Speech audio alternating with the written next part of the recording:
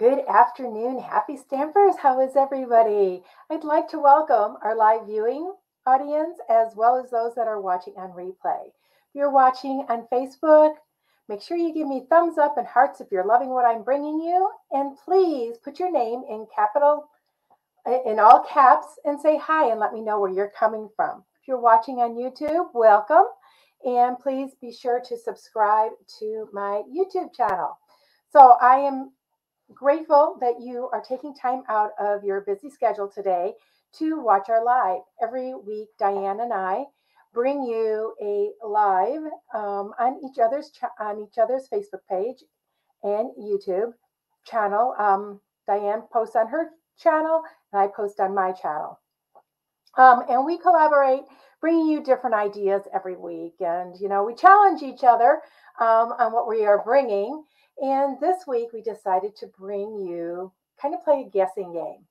Yes, we have seen the annual catalog already. So we know definitely which projects or which products are carrying over um, into the annual catalog. However, there still may be some products that are carried over maybe to next the next holiday catalog or even the so that would be the um, July through December catalog, or it may even be found in next year's January to June catalog. So we haven't gotten that list yet. So we're kind of playing a guessing game this week and um, kind of guessing is it going to go or isn't it going to go? I am looking here to make sure I am live and I do not see me. So hang on just a second. Um, Okay, my phone is not cooperating. Oh, you know, I went to come on and my computer is telling me I need to do a restart. So that, you know, um, the start of today wasn't very good in my live, but I, th I think we're going to get through this one. So let me check. I just want to make sure that I am live and I am. Turn this down. So, hey, Diane, and hi, Debbie. So Deb says, I'm all good now. Okay. Hi. Okay. I am good now. Awesome. Yeah, sometimes it takes Facebook just a little bit to catch up with me. And um, I have a tendency of just talking right away. And um, hopefully you guys caught me on live and, you know, right away and um, joined me earlier. Um, and whatever. so I don't know what I'm trying to say. I'm just trying to talk a little bit to make sure I am on here and it looks like I'm good. So I am going to kind of um, not follow the mini catalog. Um, I am going to use the Crane of Fortune bundle. And in that bundle is some gorgeous papers. And Diane used the paper yesterday.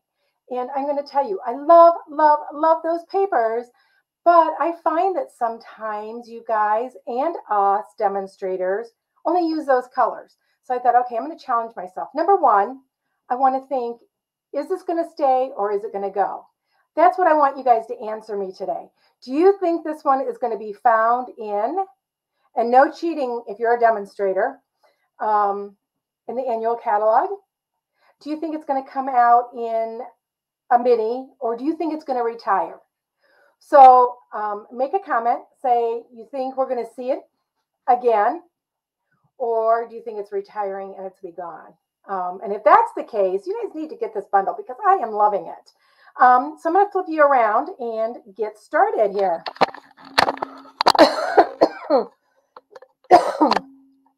I do have a little bit of a bug in my throat, and I think it's because of the pollen. It is gorgeous here today. We're going to hit 70 degrees. I'm hoping we hit 72. but it's supposed to start raining about the time I get off of here. So, um, uh, like I said, I am using the Crane of Fortune bundle. And this bundle is awesome. It's got the Crane of Fortune stamp set, which is gorgeous. They are distinctive stamps.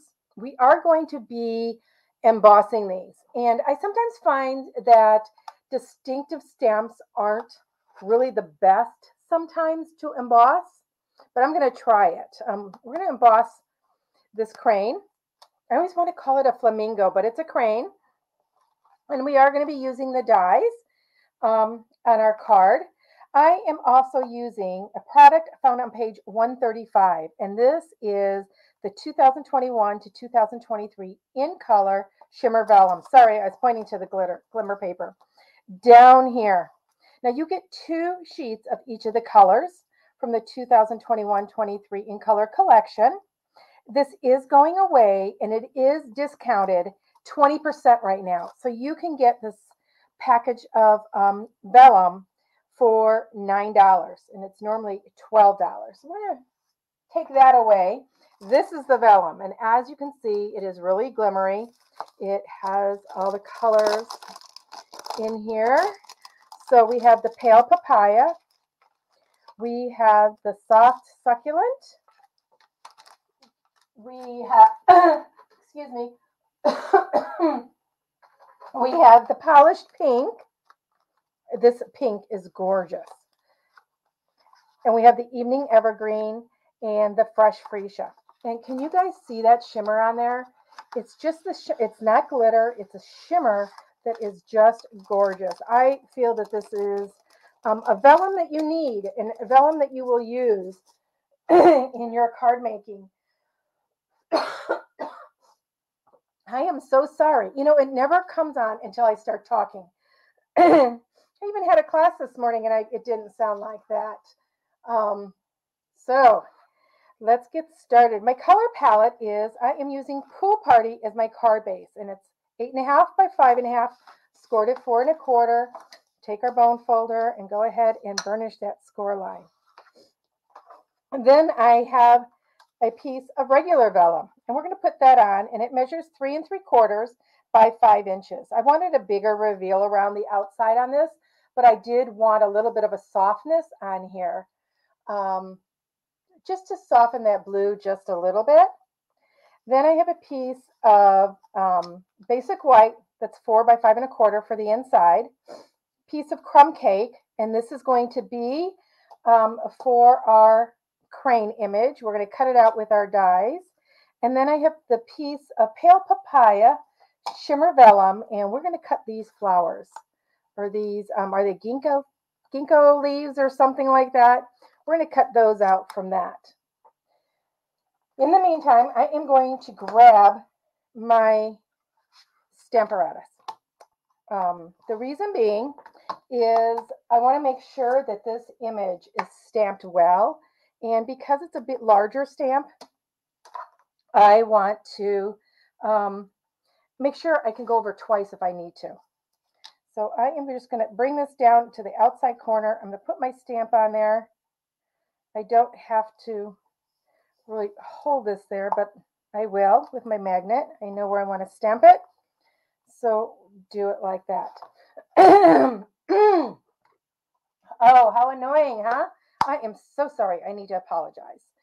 Okay, so I am grabbing our Whisper White ink and going to ink this up. And you're going to see what I mean about um, our distinctive stamps. So they are made to dark to stamp darker in some areas and lighter in others. So I am hoping and praying this comes out. If this does not come out, I will just stamp it on the other side and cut it out and it will not be embossed. But I just thought, oh my gosh, this would be so gorgeous embossed in white. And as you can see, you can hardly see the wings. So I want to make sure that I have enough ink on there to emboss. Okay. Let's move that out of the side and I'll get my white embossing powder.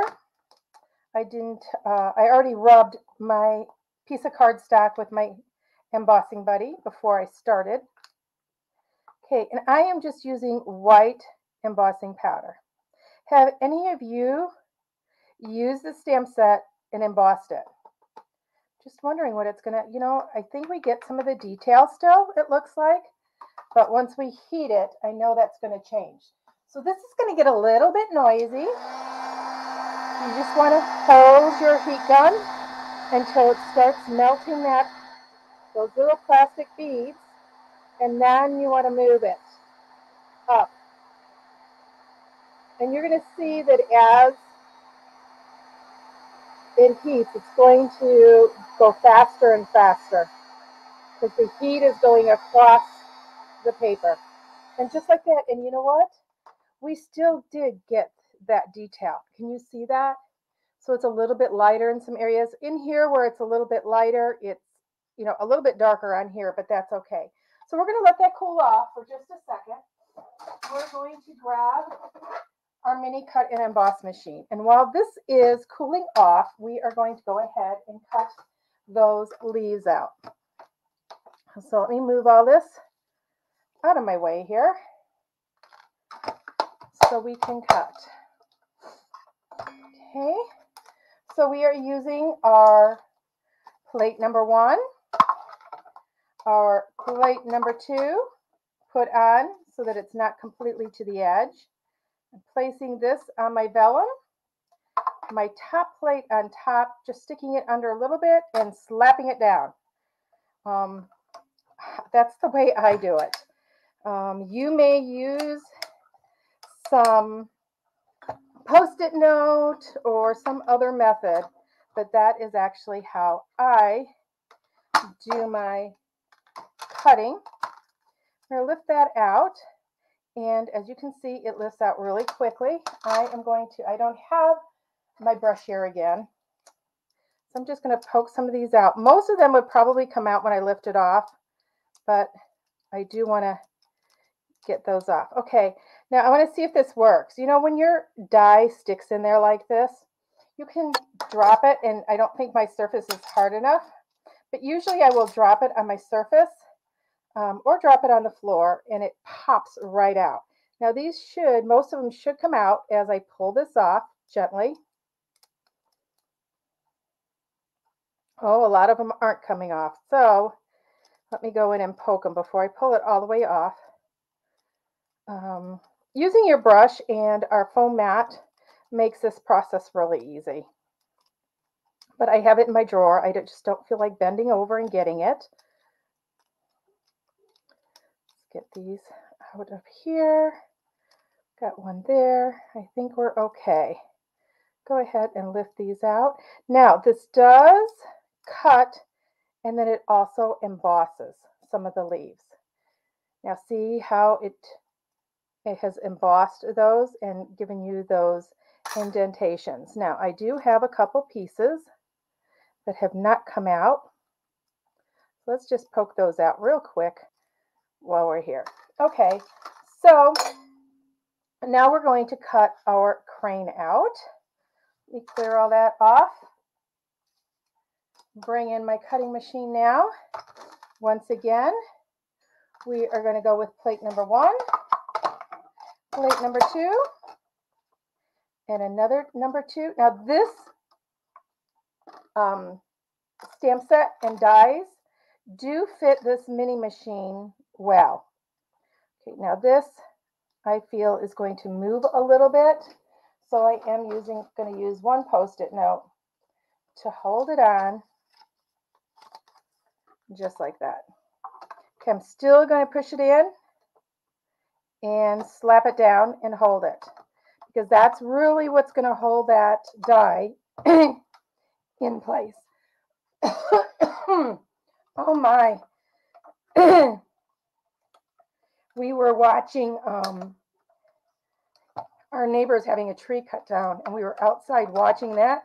I was talking, and my throat was fine, and my voice was fine.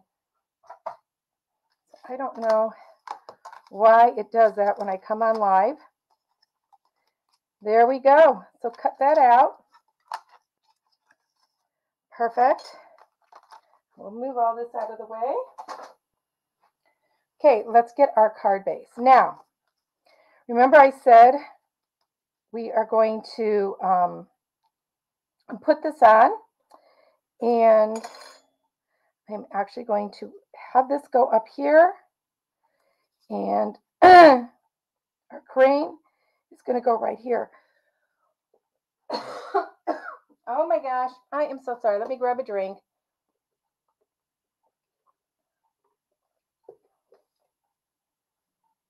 So Marjorie says it's sunny but cool Kamloops. Ooh. So, hey Janet, how are you? And Diane and Debbie. Welcome to all of you. Okay, so we're going to put this on here and I still want to add some things to my vellum, but I want to do it on while it's attached. So I just want to kind of see where my images are going to go and I am going to put some words. You might put this this way. You know, I have a tendency of putting words on this side. So what I want is I want this image here, um, which reminds me of bamboos. Um, and I want some white vellum leaves. So what I am going to do is I am just going to take a pencil. I thought I took one out here. Hang on just a second. Get one of my pencils out. And I am not going to mark the outside. So I'm, I know I want it about in here.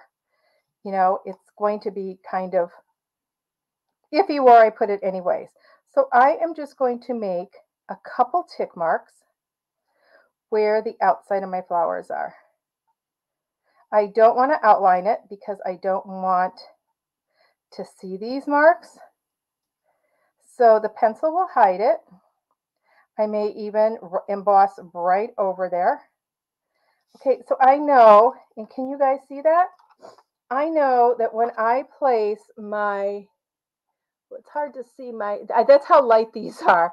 Um, so I am going to take my liquid glue and I am going to place it underneath there. I'm just going to go right up the center. Okay, I forgot to prime my liquid glue. I was using it the other night or the other day and it kind of petered out on me. So, oh my gosh. Okay, what to do when that happens? Panic, Bill. No, I'm going to tap this. Get that glue out of that lid. And we're going to suck it off my finger.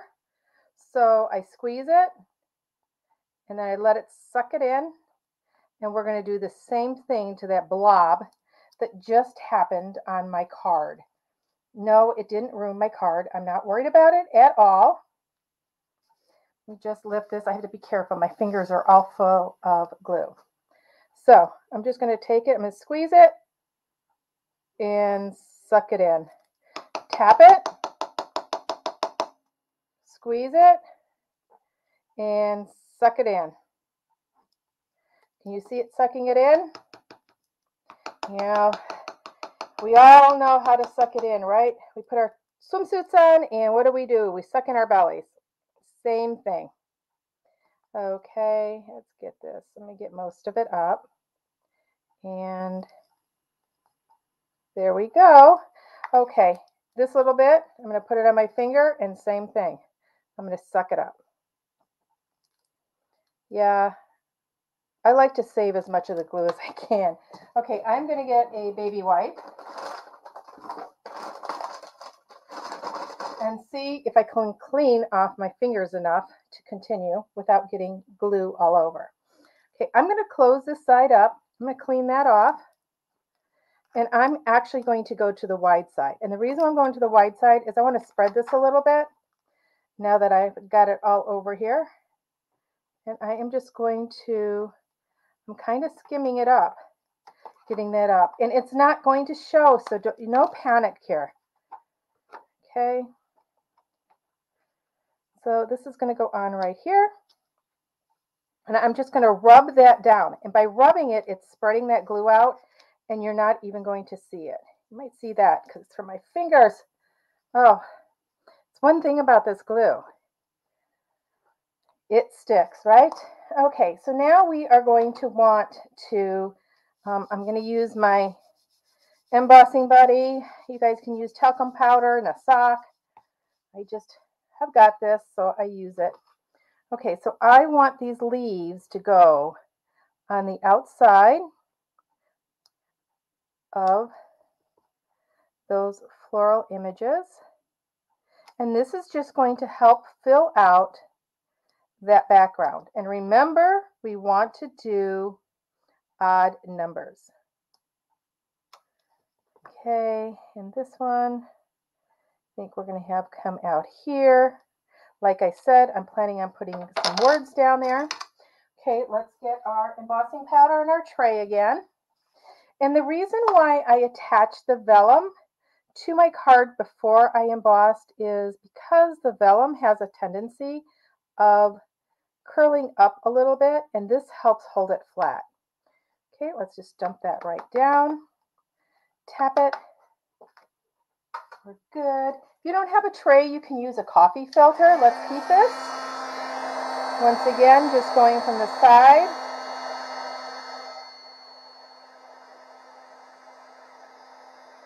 And look how quickly that happens because the heat is going across the card.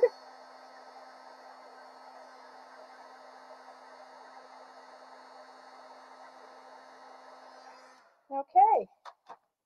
You know, I was just thinking I could have tore the edges of this vellum. Um, and that would have worked too. So we know we want to put this right like here. So all these large spots is where we are going to put our glue. And I don't worry about doing the end. And now being careful because I know that I just sucked up all that glue. So that glue is going to be real close to the top here. So we need to be careful. I just think that these are gorgeous. And there's so many other sets in the catalog that we have currently, as well as sets um, from the past that would go beautifully with this um, bundle. So I'm just going to hold this. If you have any of our Oriental type stamps, I know years ago we had a fan, um, and I think that would be gorgeous is having these come up and having the big fan right down here. Okay, so that is, feel like it's, use the back of this just to press that down. And that is on there. Okay, so we're going to use the, um, put our crane on here, and we are going to put our crane on with um, Stampin' Dimensionals. I am going to use the large and the minis. I don't have many large left here on this one, but we'll use what I have. And once again, you guys, um, I use lots and lots of dimensionals. You know, they're cheap. Um, or not cheap. They're inexpensive, I should say, not cheap. Um, and so why not? If you want your, you know, your images or your, your mats sticking up with dimension, use those dimensionals. Okay, here we go. Yeah, that um, that pale papaya is gorgeous with this, isn't it? Okay, let me go down here. I am going to have to cut one of these minis in half. Not very often that I have to do that. Let me grab my snips here, pull this one off. Just because those legs are so thin, um, a half will do. Let's get our take your pick tool. To hold that mini on and just right on that foot. Or, or, or, or foot, claws, right? oh my gosh. Oh, thank you, Marilyn. Oh, hey, Kay, hi. Hey, it's okay if you're late. Um, we just uh, appreciate you coming on and watching and joining us. And, uh, you know, so it looks like nobody nobody has this. Oh my gosh, I know Diane has used this one quite a bit. Um, I have used it, not as much um, as I hoped, but I am in the process of making a gift for a friend who's getting married. I am going to trim this one. I think it's just a smidge too big. Um, so I am doing thank you cards actually with this set for her. So I'm using our note cards and envelopes and doing some thank you cards. So I am, so um, I'm looking at this and I am thinking I should have added a couple more and I may add a couple more of the leaves when we get off. Okay. Um, the embossed leaves, I think they look too much in a row. I think they should have been scattered a little bit, but I can add some more to add that effect once I get my crane on here. Okay, we're just going to put that right here. And we're actually going to, ooh, one of those little, right down here, it's got a toenail hanging out. No, actually it's a dimensional, but it looks like a toenail. So we're just clipping that. Let's stick this right over here. So I want to cover that beginning of the stem. Okay. This one sticks out a little bit. So what I'm going to do while you guys are on here, I'm going to go ahead and I am going to stamp another leaf there. So you can see how I do that. I'm going to go ahead and take my embossing buddy once again. And so what I'm going to do is I've got that stamped up, inked up. I am going to take the ink off the bottom portion here. Okay, and I am going to place that right up here so it overlaps those other two. And because I'm doing this one, that's going to make an even number. And you know what? I think I'm going to leave that one unembossed. So it's going to take a little bit for it to dry. I'm not going to ink that up quite as far. Just partially add, and I'm going to add another one right up here. And by not embossing those two, they are going to be like they're in the background more. I'm going to do two more. I kind of like that. I, I, like the fuller effect. And I like they're in the background. Let's do this one right up here. Get that ink off of there. And right up like that. I think that's good. One more down here. Oh, I could just keep adding them. oh, gosh. Okay, that's enough. That'll take a little bit to dry, but in the meantime, I'm going to go ahead and do the verse. I think I am going to do the verse on um, Pool Party, and I think I'm going to emboss it. So I'm just going to grab a piece here, grab my saying, and I think I'm going to do wishing a lifetime of happiness and a world full of love. So that is this one right here. So that is a long verse. So we're going to stamp it along there. Let's get our block. Ink it up with the white because we are going to embossing it, be embossing it. Put it right up here. And I am guessing I'm going to be fussy cutting around it. I could do this in pale papaya too, but I want that pale papaya accent just there. Okay, let's hope I got enough ink on here. If not, we'll be doing it a second time. Oh, enough ink. Awesome. And watch it appear.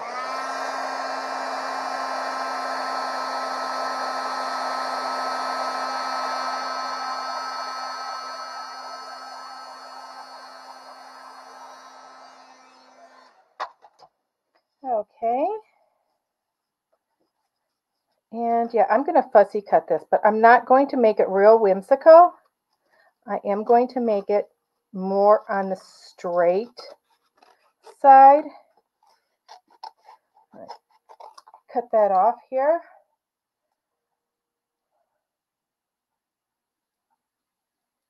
So Kate just got this. Oh, Kate, you're going to love playing with it. It's a gorgeous bundle. The whole suite is gorgeous. But like I said in the beginning, I wanted to use something that wasn't um, in the catalog. Let's go with a different color combination um, because we can make gorgeous cards um, with the designer series paper and with the colors that they that they have suggested, but we can make gorgeous cards um, using different colors. So I am going to put this right here and we are going to raise it also and it kind of folds forward. Now I've got these edges. Guess what? We're going to use this. oh, I think to here. We'll get that center down and all the way to this edge. And we don't want to go all the way to the edge here because it's going to be resting on his legs. So let's get that. And you know, I could back it with white, which I think I'm going to. So let me get a strip of white, basic white here. And it's okay, I've added that dimension because that is going to be standing up and the white will be sitting flat. So we're just going to go right around here. I just think it's going to help highlight that off of the vellum. Okay. Let's go right across there.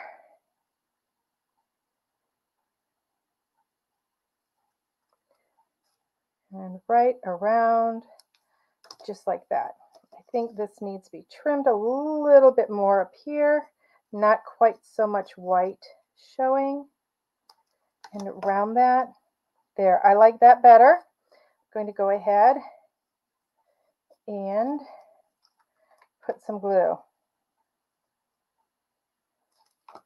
Okay, and I am going to slip this under so that only the blue is raised there. And it's very, very slight. Okay, this is going to come up. Just lift it up just a little bit because I don't want to go off the card. Okay, where is that stuck to? Okay, hang on. I got to get that leg kind of above that. There we go. Let's get it on there. See, I need to do just a little bit of trimming right here. Being careful not to cut my vellum. Okay, so that's the front of the card. The inside the card, we're going to go ahead and stamp. And I am going to stamp the words, um, much luck and good fortune on the inside, but I am going to be using the Pool Party ink for the inside. It's very unusual that I use two color colors of ink, but I want to stick with my color combination. So we're going to go ahead and put that on there and just hold it.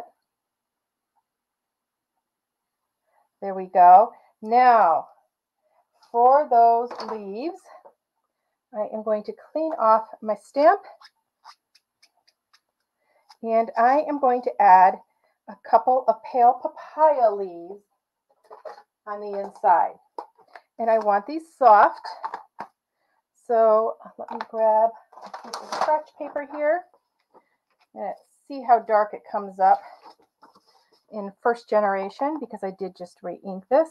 Okay, I think I'm going to do second generation. like that.